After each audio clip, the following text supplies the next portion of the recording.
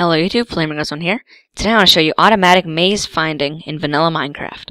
So, let me just set a start location and so this is maze was actually generated by SethBling's maze filter.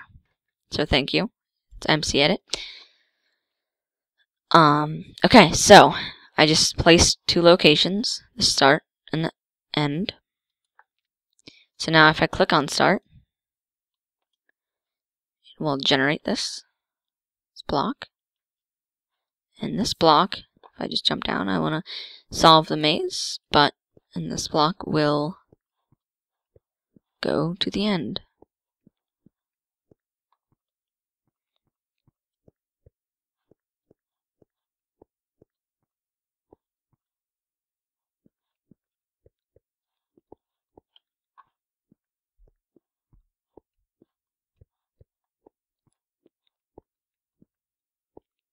Almost there, and yeah. Once they're okay, so they just die. So you can actually set those two locations anywhere inside the maze, and it'll still go. So say over here. So I'm gonna set this as the end, and the start is here. And so if I click start, you can see, you can see the end there. And this block will find the shortest way to it. So I'm actually going to show you one more example, then after I'll show you how it's done. So I'm going to set the start here, and I'm going to set the end on this command block. So if I start this, then now why is it finishing the maze?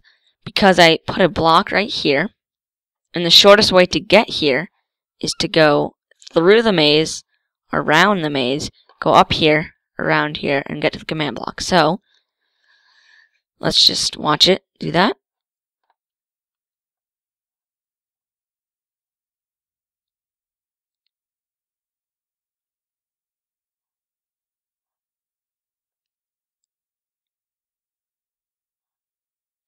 So it's actually going around.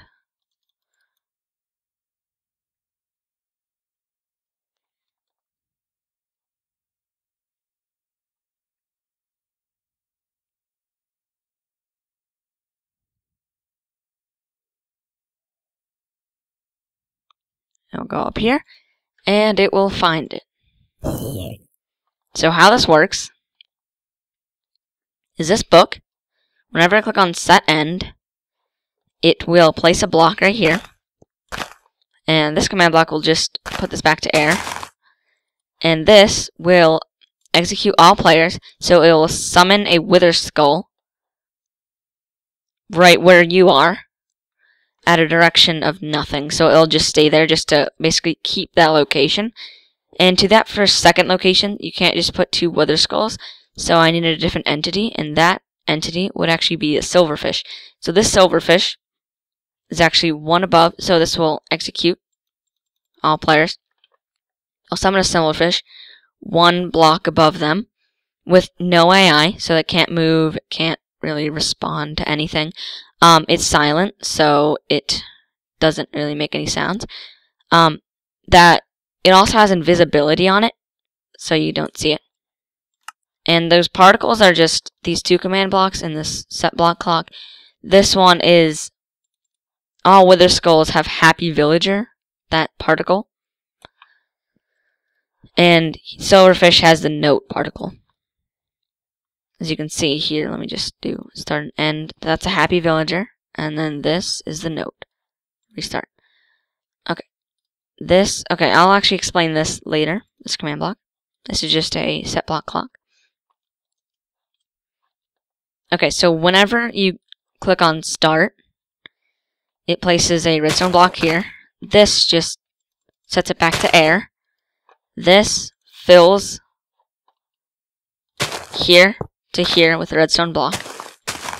So these two command block or these four command blocks get powered. These two just set it back to air. And So this summons a villager. Summons a villager. Um. Okay. Doesn't have any AI. It has a gold block on its head. It is silent. It has a health of 3.5, so it only takes two hits with the zombie to kill it. The active effects are, it's just, um, invisible. So it's always invisible. Or not always, just that amount of time. Um, this summons a zombie in the same coordinate with a diamond block on its head. It's also silent. It, it does have an AI. Um, it the movement speed is 2.27, so it goes a little bit slower than walking speed. And its follow range is 250. Um, the active effects, it's always invisible. And so, yeah, though that location's actually inside here. So they both get summoned in here. The zombie can hit the villager once, and then it'll teleport the villager to the Wither Skull, and it will teleport the zombie to the Silverfish. And then after, it'll just kill the Wither Skull, and it'll kill the Silverfish. So, since it has such a long follow range, since the zombie has a, such a long follow range, it will, it's 250, 250 blocks. So if it's 250 blocks away, the start and the end, it can still follow. And it will always find the shortest path because that's how like what how zombies find villagers. So yeah, that's all. That's basically it. Leave a like if you. Leave a like if you if you enjoyed the video. Comment what you want me to do next, and bye.